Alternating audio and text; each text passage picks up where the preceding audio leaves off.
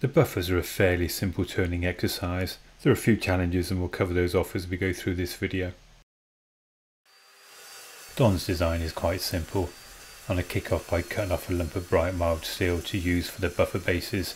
This is actually big enough for two end to end. As with all things turning, the first thing I need to do is throw this in the chuck and face off one end. This chuck that came with the lathe is pretty poor. I think the run out is around about 0.6, 0.7 millimeters. But as long as I don't move the part once I start working on the diameters, that shouldn't be a problem for me. And for subsequent operations, I'll be using my collet chuck, which of course runs much truer.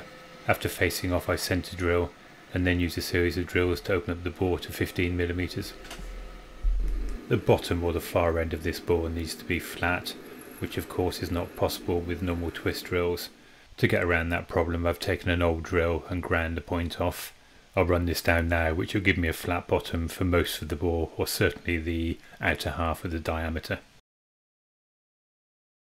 To finish off the bore I use a boring bar.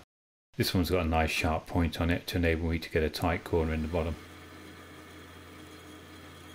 As we can see the bar is quite thin which means it's going to flex so I can only take very small cuts and in fact I cut both on the feed in and on the feed out and for the final cut I run it up and down twice. Although I am checking the diameter with my vernier after each pass, my final test is to use this go no go gauge which is a bit of silver steel at 16mm diameter. And I've got a really nice snug fit here now in fact, as I pull it out, it forms a bit of a vacuum. Next, I need to turn down the external diameter. I'm not looking for super accuracy on this diameter, so I'm happy to use the verniers. Getting a decent finish with mild steel on this lathe is a particular challenge.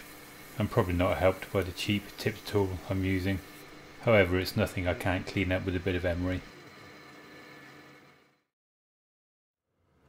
After repeating all of those operations on the other end of the piece of stock, I cut it in two and then swap out the 3 jaw for my collet chuck, which will give me the concentricity I need going forwards.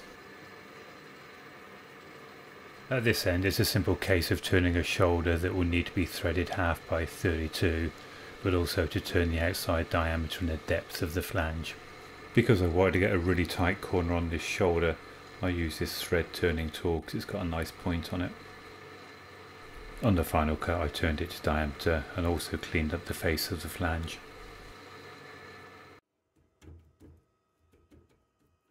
There's a bit of a challenge on the design here. The thread needs to be cut really tight up against the flange to enable the buffer base to screw properly into the buffer beam. However the die I have, which is just a cheap carbon steel item, is tapered at both ends so I could not thread the full depth of that shoulder.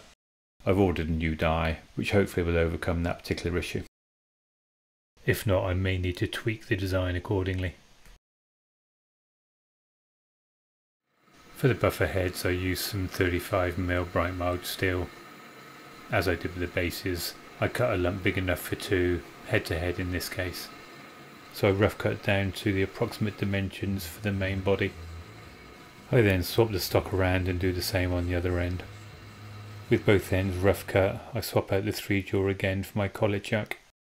I also swap out my fixed tool post for the compound slide. The reason for this is Don's design for the back of the buffer heads has a 10 degree angle and therefore to cut that angle I'm going to need the compound slide set quite a long way round, well obviously at 10 degrees and what you can see me doing here is using a dial gauge to set the compound. I then crack on and put the finishing cuts onto the back of the buffer head and of course I keep this setup in place for all the remaining buffers.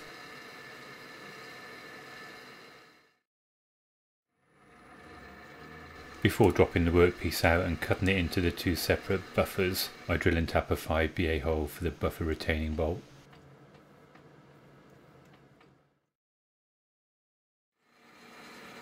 For the face of the buffer, Don's design calls out an unspecified radius.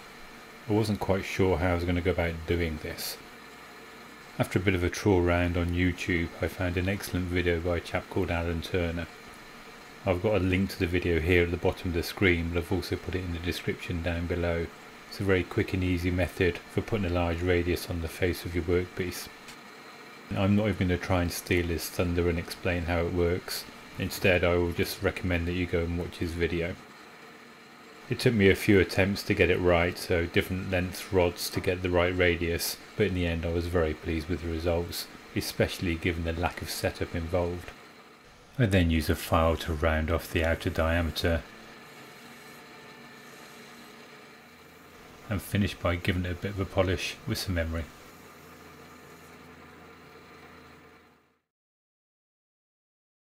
I will need to revisit the shoulders on the back of those buffer bases when I get my new half by 32 TPI die. I would also need to sort some springs out, whether I make some or buy some I've yet to decide. But those two points aside, I'm going to wrap this video up here and as always say thanks for watching.